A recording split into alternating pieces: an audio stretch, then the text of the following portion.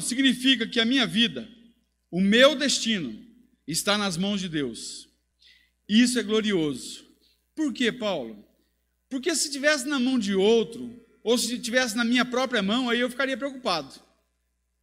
Mas como está nas mãos de Deus, e eu olho para as Escrituras, e eu vejo um Deus bom, um Deus sábio, um Deus longânimo, um Deus misericordioso, um Deus amoroso, um Deus gracioso.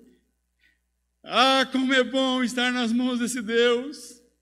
Eu oro e peço, Deus, não me solte, me deixe em Suas mãos.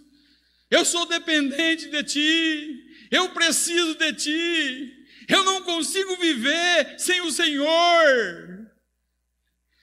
Eu sou dependente da Sua graça, da Sua misericórdia, do Seu amor. Não há vida sem o Senhor. Eu sei o que é ter vida de morte antes de te conhecer, mas agora eu te conheço e eu não vivia. Hoje eu vivo por causa do Senhor. É o Senhor é por isso que Deus merece e é digno de toda honra, de toda glória, de todo louvor, de toda majestade.